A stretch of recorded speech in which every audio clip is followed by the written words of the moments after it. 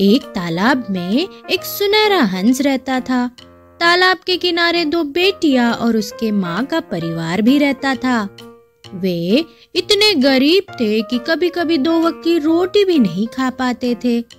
हंस ने उनकी यह स्थिति देखी और गरीब परिवार पर दया की।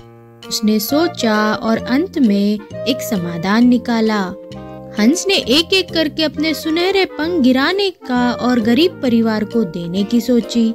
वे उस पंख को बेचकर आरामदायक जीवन जी सकते थे और पर्याप्त कमाई करके अपने लिए अच्छी जीवन शैली निर्माण कर सकते थे।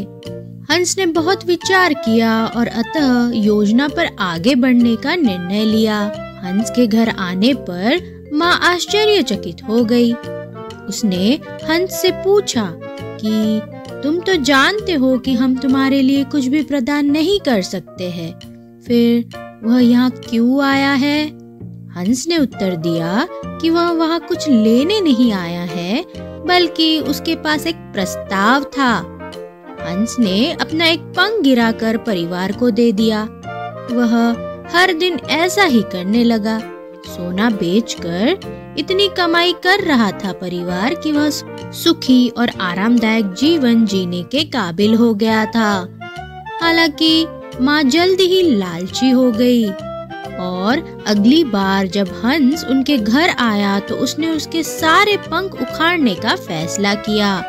उसने अपने बेटियों से कहा कि वह हंस पर पूरा भरोसा नहीं कर पा रही है और उसे संदेह है कि कुछ दिनों बाद वह अपने घर नहीं आएगा, जिससे परिवार फिर गरीब हो जाएगा।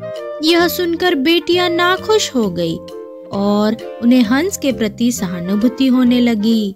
अगले दिन जब हंस आया तो माँ ने उसे पकड़ लिया और उसके सारे पंख तोड़ दिए। लेकिन उसे आश्चर्य हुआ, पंख अब सुनहरे नहीं रहे। वे सामान्य पंख थे, जिसका कोई मोल नहीं था। हंस ने बताया कि वह उसके स्वयं इच्छा से सुनहरे पंख गिरा रहा था, और क्योंकि माँ ने उसके पंख को ज़बरदस्ती तोड़ा था, इसलिए उसके लिए नियमित पंखों के अलावा और कुछ नहीं थे। स्वयं की क्रूरता से माँ बहुत ही दुखी हुई, और हमेशा की तरह फिर वह लोग गरीब हो गए। तो हमें इस कहानी से यह सीख मिलती है कि हम किसी भी चीज़ की इच्छा कर सकते हैं, लेकिन वह इतनी तीव्र नहीं होनी चाहिए कि वह किसी और के लिए, यहाँ तक कि हमारे लिए भी हानिकारक साबित हो। हमें पता होना चाहिए कि कब रुकना है और कितना पर्याप्त है खुद के लिए। ऐसी ही और कहानियाँ सुनने के लिए हिंदी किडो फैंसी टीवी को सब्सक्राइब करें।